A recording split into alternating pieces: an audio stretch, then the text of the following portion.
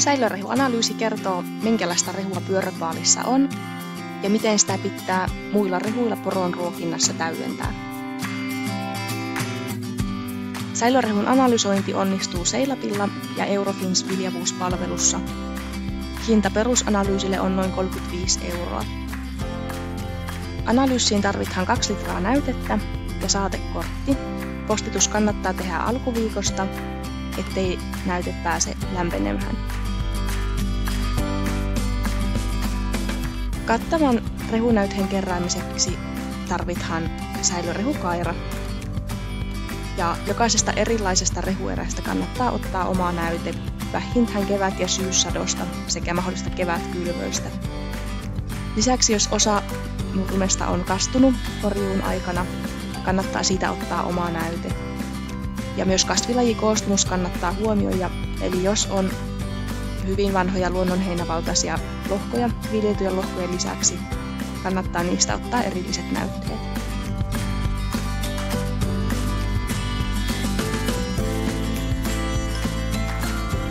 Säilörehuanalyysissä yksi kuvaavin luku on syöntiindeksi, ja se kertoo kuinka paljon porot söis rehua, jos sitä olisi vapaasti saatavilla.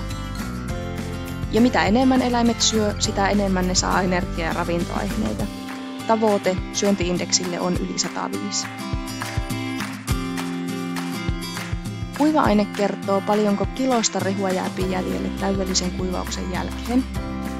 Porolle tavoitetaso olisi 300-450 grammaa, jolloin kuiva-ainepitoisuus olisi 30-45 prosenttia. Säilörehuanalyysin voi jakaa kahteen osaan, jossa alapuoli kertoo säilönnällisestä laadusta ja yläpuoli ravintoainesisällöstä. Säilönnän perusteita voi halutessaan kerrota esimerkiksi säilörehusäilönnän perusteet YouTube-videolta. Säilönnällisestä laadusta pH on yksi tärkeimmistä luvuista, ja sehän tarkoittaa happamuutta. pH-taso ollessa alle neljä, voihan sanoa, että siellä mikrobikäyminen on asettunut ja rehu on hyvän laatusta.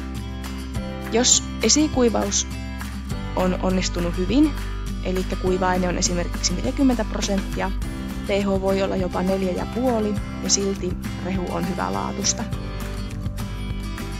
Happamus estää mikrobitoiminnan ja rehun hajoamisen säilönnän aikana.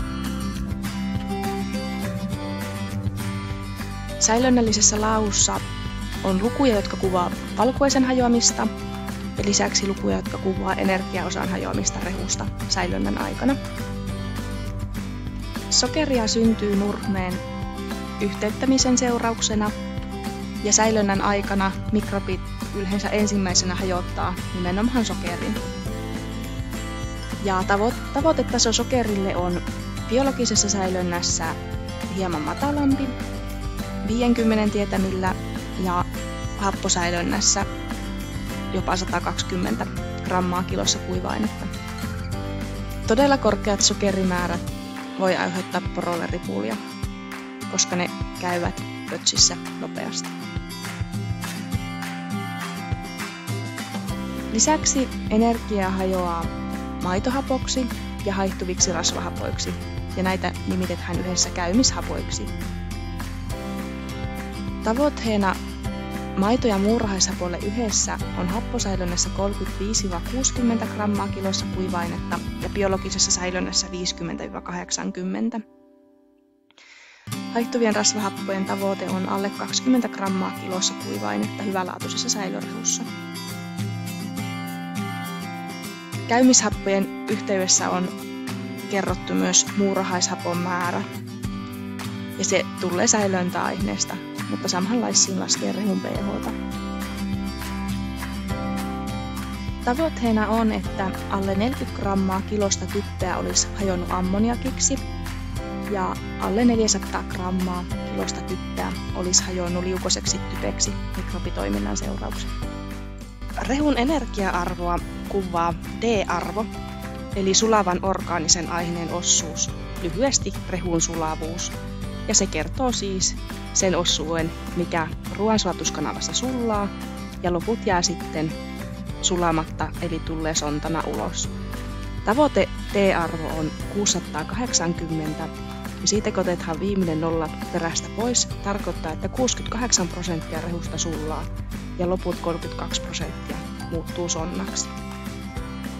Muuntokelpoinen energia laskethan kertoimella T-arvosta ja sen tavoite on yli 10,9 megajoulua kilossa kuiva-ainetta.